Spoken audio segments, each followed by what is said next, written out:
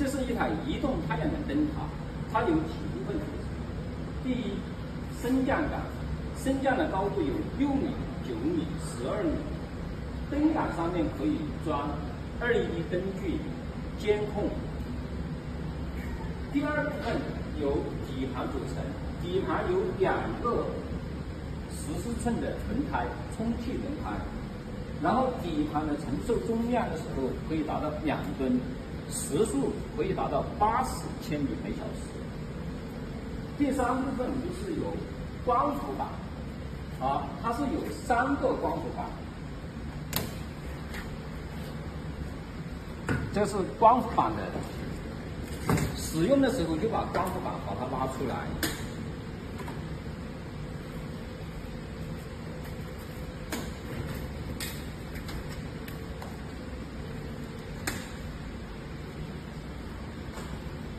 当我们不用的时候，就把光伏板把它放进去，好，这样就锁住了。这个灯有个特点就是，这里有转向灯，啊，我们前面的轻型车在转向的时候，这个灯，你说往左，它就往左亮；往右就往右亮。那前面的车在踩刹车的时候，它这里红灯就可以显示。第四部分，它是蓄电部分。蓄电部分就是在这个车厢里面。那这个车还有一个特点的时候呢，它除了太阳能充电以外，它还可以用市电来充电，也可以逆变。比如说，我们根据现场需要的，比如说二百二十伏或者一百一十伏的电，可以从这里取出来。我们配了一台三千瓦的逆变器。那这台车它有以下功能。我们把总开关一打开，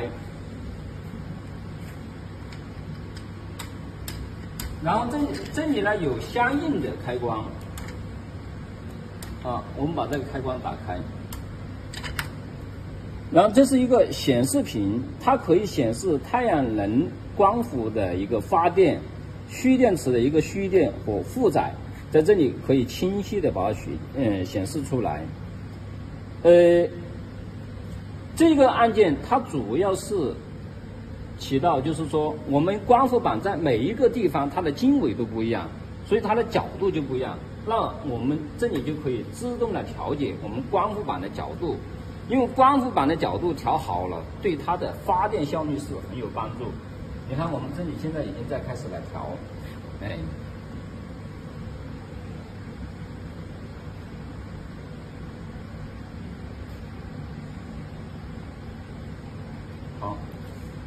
这一个是一个这个，呃，灯杆的升降功能。比如说，我们，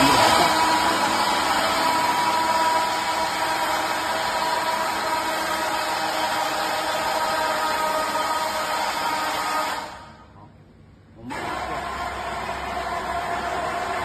这是一个电动设备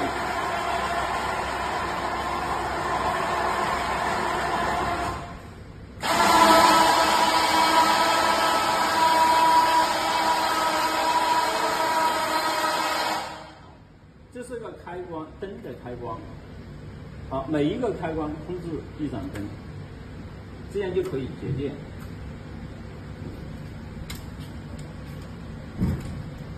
这一个的功能就是，当我们的车停好的时候，就可以放在这里，把这个汽车的轮胎挡住。当我们不需要需要拖走的时候，就可以把这个千斤顶把它移上来。然后车就可以开走。如果要，比如说停到我们要使用的时候，就把这个千斤顶把它摇下来，让它的重量，这个这台车的重量全部在这个千斤顶上。